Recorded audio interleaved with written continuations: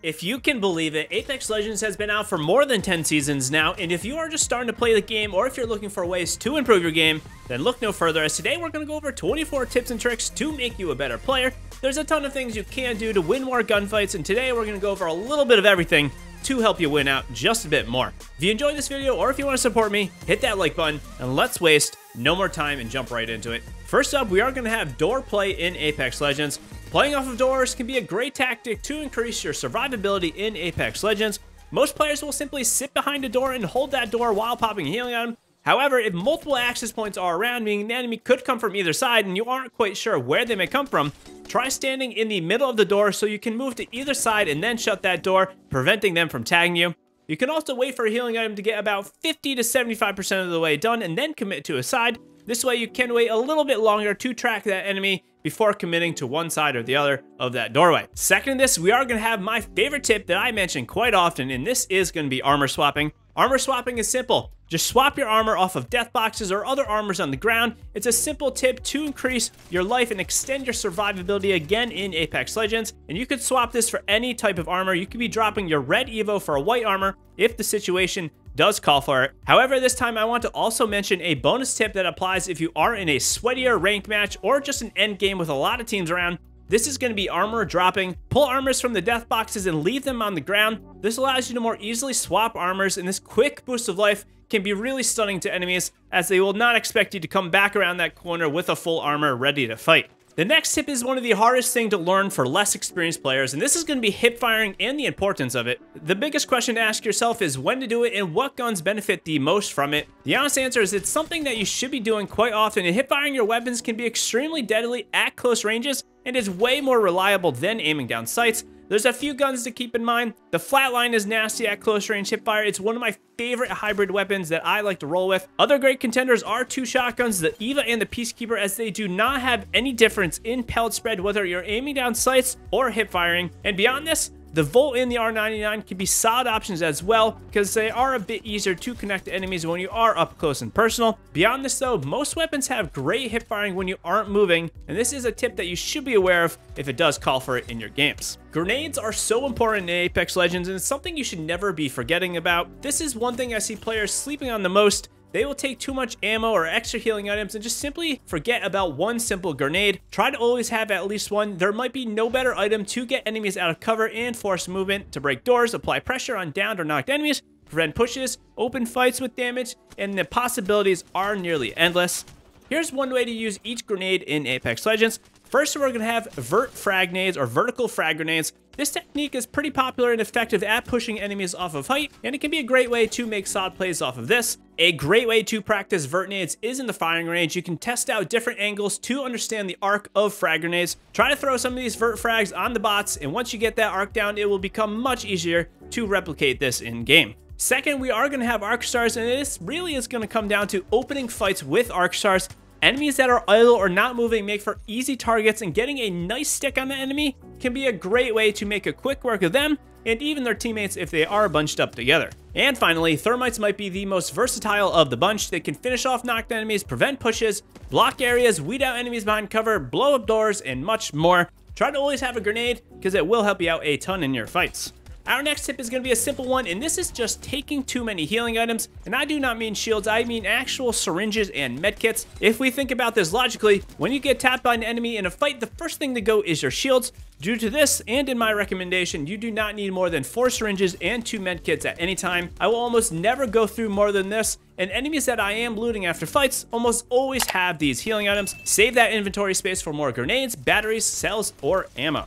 Moving on, we have something that is less about actual gun skill or ability skill, and this is going to be more about game knowledge. What separates pros from the casuals isn't just incredible gun skill, but is knowledge of the game. This means movement, who the opponent is, and what they are doing.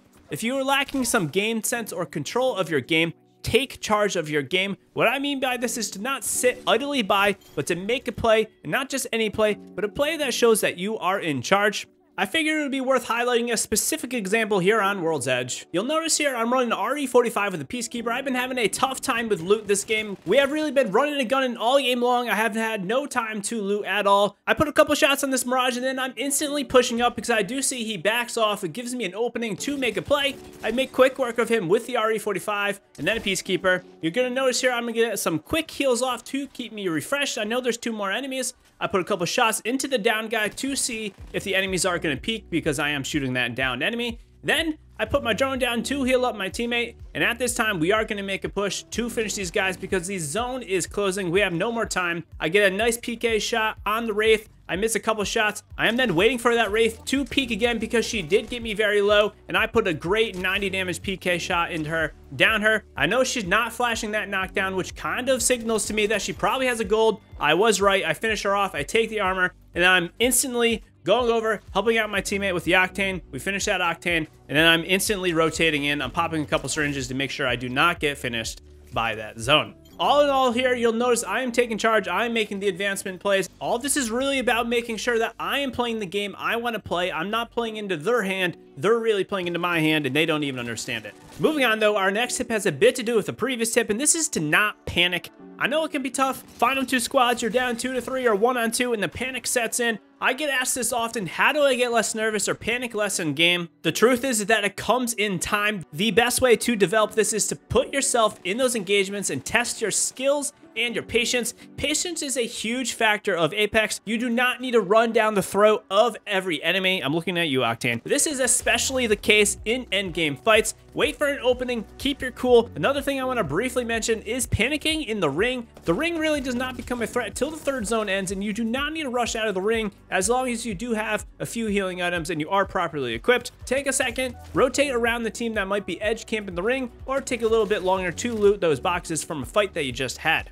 Let us now talk about the gold items in Apex Legends and who really benefits from these items more than others. First, the gold knockdown. To be honest, this doesn't really matter quite as much as the other items in the game, but you may want to give this to Mirage as he does have some invisibility when he is knocked. If he starts to pop that self-revive right away, he does this while being invisible, and this can help him get that revive off a little bit better than the other legends. Next, we're going to have gold armor. The gold armor really excels in the hands of aggressive playmakers. Any aggressive legend that can get a quick shield cell off can excel in playmaking with big plays while also staying healthy.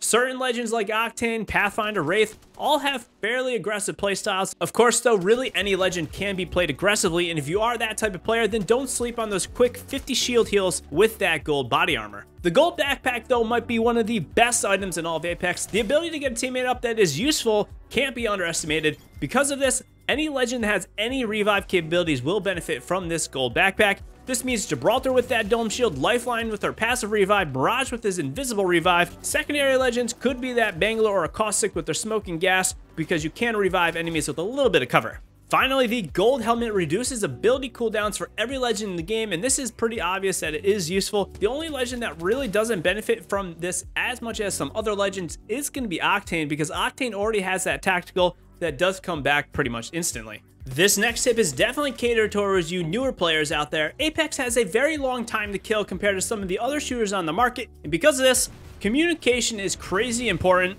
As someone who spends countless hours solo queuing in his matches, teamwork can be tough with random players, Luckily, we have one of the best pinging systems in all of gaming right now. It is there for a reason, so be sure to use it if your randoms or yourself aren't chatting it up in Apex Legends. If you are new to Apex, some basic functions that you may be unaware of that are pretty incredible is to ping your ultimate from the inventory when it is ready, pinging your weapon when needing more ammo, or pinging any attachment on your gun if you do need that attachment. Of course, there is that ping wheel where you can communicate with your team as to what you're thinking about, defending an area, looking at a spot for enemies to rotate through, or just trying to move around. Another pretty simple tip that players don't utilize enough is the act of meleeing at the end of fights when your magazine is out of ammo. If you hit someone say 150 out of 175 or 180 out of 200, it is way faster to bop them with a punch rather than staring at them trying to panic reload and seeing who is going to get the shot off first like some 1960s western movie. This is especially true if the gun has a long reload.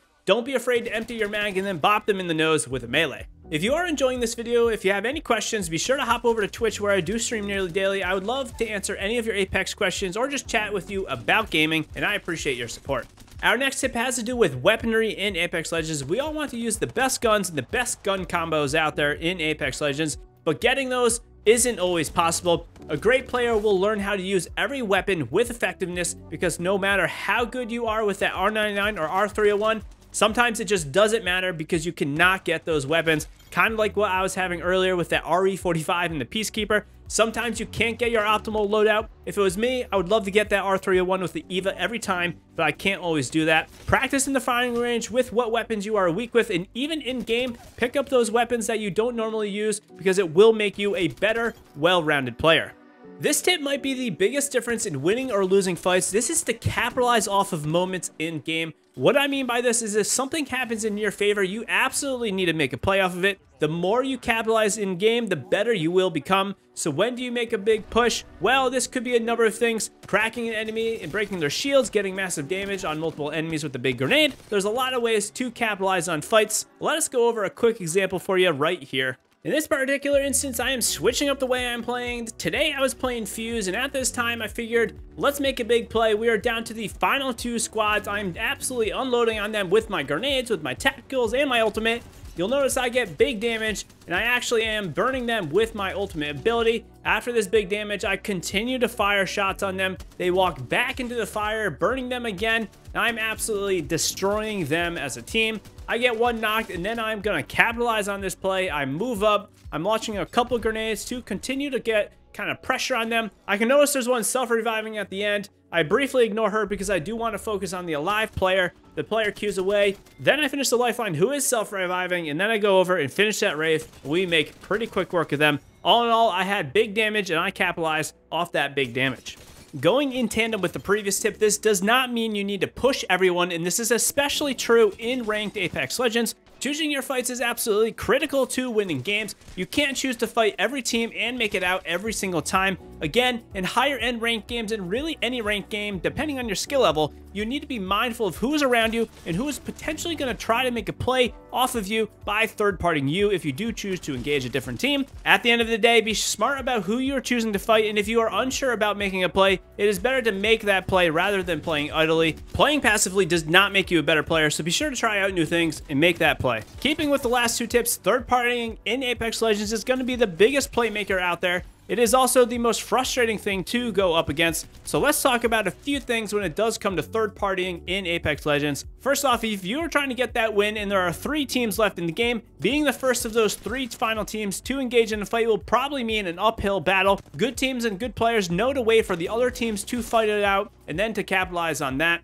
It's not always feasible, but if you can, beat the team that does that third partying, it will air in your favor most of the time. Preventing third partying is easier said than done though, but let's go over a few ways to try and prevent yourself from being a target of a third party. First up, when finishing a fight, always expect to be third-partied. Armor swap immediately if it is possible and be on the lookout for a push. Following this, audio in Apex can be pretty bad, but one thing that is generally very obvious is just how far gunshots can be heard, and this does cause teams to gravitate towards people that are already fighting, the best way to prevent an active third party while you are in an engagement is to try and finish that fight quickly and cleanly. Don't engage a fight when you are not ready. Try to make that fight quick. Try to make quick work of them to give yourself the maximum amount of time to prepare for that next team that's going to rotate in. Moving on, movement in Apex Legends is the real deal. There's a ton of advanced movement techniques out there from tap strafing to bunny hopping, super glide, stealth walking, crouch strafing, corner peeking, zipline bouncing, and wall jumping, just to name a few. The more you learn about movement in Apex Legends, the better you are going to become. One technique I encourage you to learn is going to be wall jumping because I think it's the easiest of the more advanced movement techniques in the game, and it's pretty fun to do. Wall jumping is exactly what it sounds, jumping off of walls to get a boost in movement speed and to allow yourself to traverse areas without having to climb and go through that animation. Wall jumping can be pretty great to open in fights as well as you will jump onto enemies virtually silent and move through the air at different angles that they really just aren't going to expect. To perform a wall jump, simply run at a wall, slide and jump into that wall. As you are about to make contact with that wall, release your movement stick or key, and then hit jump to jump off of said wall, and then begin to redirect yourself. Practice wall jumping in the firing range to get those basics down, and then when you are rotating around the maps, when there is no fighting, when you have some downtimes, this will allow you to always be improving your skills. Tip for our Sweet 16 is going to be using weapons you are not comfortable with. This goes back to the weaponry tip, but this time I want to emphasize using the firing range as a part of your daily playing routine. A quick two to five minutes in the range before every play session can be so beneficial to the health of your play session. Not only will you get warmed up without having to worry about enemies shooting back, it will help you learn new weapons you are not comfortable with. I, however, do not recommend you spend too long practicing here. In-game playtime is always superior to practicing on the range. When you are warming up, do it without any barrel stabilizers. If you can master the weapons in this form, it will just be easier when you do get that barrel later on. I recommend trying a mix of tap firing weapons and spray weapons at all various ranges as well.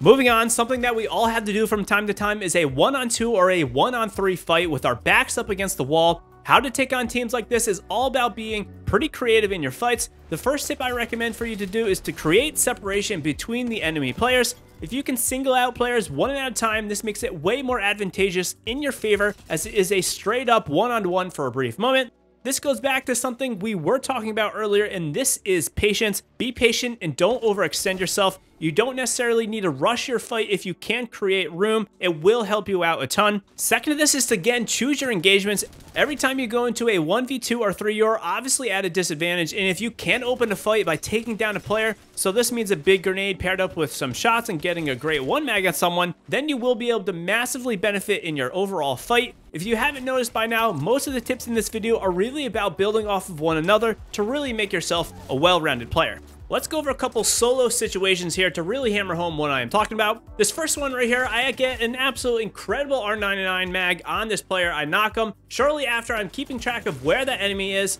I'm waiting for this Mirage to actually play into my hand. He's knocking down the door because he does think I'm healing up. He knocks down the door. I make quick work of them. Again, right here, I opened with a one mag on an enemy player to make it a 1v1. Right after this, I am again doing the same thing. I am opening with an almost one mag on this fuse that is ratting in this building. I knock them. I am then keeping track of where the enemies are, what they are doing. I'm making sure that fuse isn't getting up. And then I again do a 1v1 against the Pathfinder because I did make quick work of them, making it two 1v1 fights. This kind of does go back to team play. If they were sticking together and if they were coordinating well on me, I would have never been able to really do at least that second fight because I was so low. If the Pathfinder was there, I wouldn't have made it out of there alive.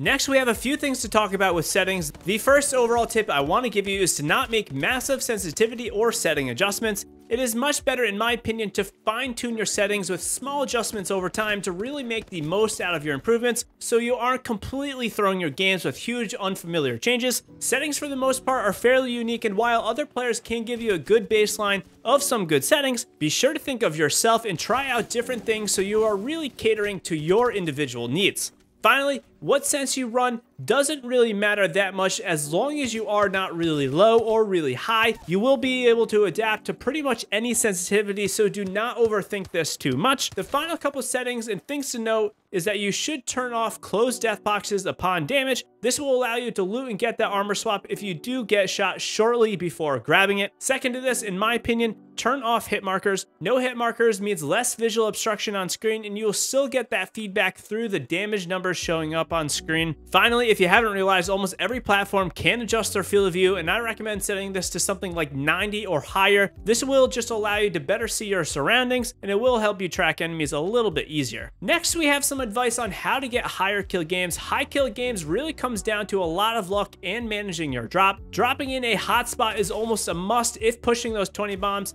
and the following spots on these maps are my recommendations if you do want higher kill games. Kings Canyon, you got Market, Capacitor, Gauntlet, and Salvage. Olympus, you're gonna have Estate, Energy Depot, and Fight Night, and sometimes Oasis. World's Edge, you're gonna have Fragment, West and East, and now you will have the new locations known as Climatizer and Lava Siphon, as many players are checking out those new areas. Other than this, pushing high kill games is really all about being aggressive and taking every chance you can get a fight within reason. And all in all, it is going to come down to a lot of luck because you do need the game to really just be feeding you enemy players at the right moments so you don't get overwhelmed and so you are getting enough kills in your game. What we have been talking about so far is always taking fights, and it is what we are looking to do. If you want another way to be a bit more effective in your fights, it is to enter the fight creatively. This is generally known to me as the approach of an engagement. This goes back to using movement techniques like wall jumping or making the most of movement legend abilities. This could be ulting in with launch pads or zip lines, using Horizon's Lift or a Wraith Portal, maybe a Bangalore Smoke. There's a ton of options with almost every legend. If you have no movement legend, have no fear because sometimes just entering a fight with a climb that is a little bit different than someone would expect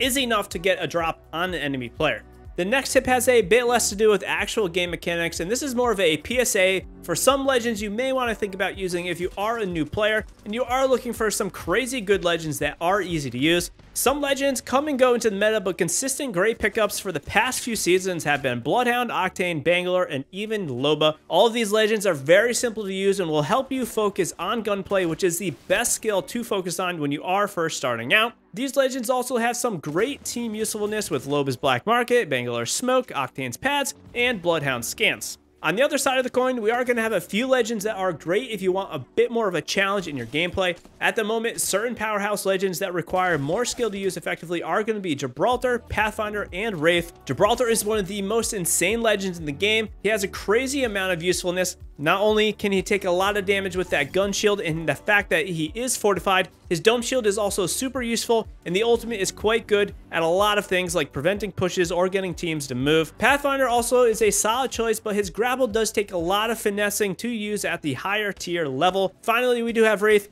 Wraith has a ton of usefulness and escape artistry with her Q, and she is super useful for endgame rotations with cover and safety by using that portal. Wraith has a crazy amount of survivability, and she really can reset fights over and over with that Q ability, so don't sleep on it. All three of these legends may or may not be the best of the best, but they are a few of the recommended legends I like to give from time to time. We already talked about getting higher kill games, but how about dropping high damage games? High kill games generally mean higher damage games, but there are a few tips I can give if you are just looking to farm those 4k damage badges. First, shoot everything. Farming higher damage games means you need to be tapping those enemies across the map and really trying to get a little burst of damage at a time consistently. Second this, a legend like Rampart with those amped walls isn't too bad of an idea if you are trying to get a little damage boost. Thirdly, we are going to have finishing your knocked opponents or really any knocked opponent. This is a free 100 damage because this damage does count towards your overall damage counter. Finally, just a few weapon recommendations for pushing damage. My personal favorite is the G7 Scout. This thing can absolutely beam at mid-range to long range and is even useful at the close quarter situations in a pinch. The complement to this is really the 30-30. I'm not a huge fan of this weapon, but some stand by it, and I think with its little bullet velocity buff, it is a solid choice. Finally, there's the tried and true R301 and Flatline. Both of these weapons have a lot of versatility between close, medium, and even long ranges if used properly. So what's the best way to improve? Don't play scared, make plays, try new things, make that push that you're hesitant on doing, Greatness never came from sitting in the corner, waiting for everything to die down as actual great players are competing and getting better. I'm a firm believer that winning more games does not make you a better player. Again, winning more games doesn't make you a better player and dying off of spawn earlier on in the game means you might actually be improving rather than sitting idly by and getting third or fourth place or second place. Think critically about your losses. What could have you done better? Was it a bad drop? Was it no loot? Something out of your control? Maybe. But overall, think critically and don't be scared to make a big play. Getting better at Apex can sometimes feel like an impossible task since the game has been out for a couple years now, but if you are ever looking for someone to play with or chat with about Apex, hop into our community Discord. We have a ton of guides and tip videos on the channel, so check that out if you need more. And if you want any more content, links to my Twitter socials are all down below. Drop a comment down below and let me know what's your biggest struggle in Apex. I would love to hear it so it can help me cater my content towards helping you out in your game. For me, personally, I will say it's absolutely overextending and my aim. I think both could use a little bit more work. Till next time, though, I will see you live in the Twitch streams. Good luck, Legends.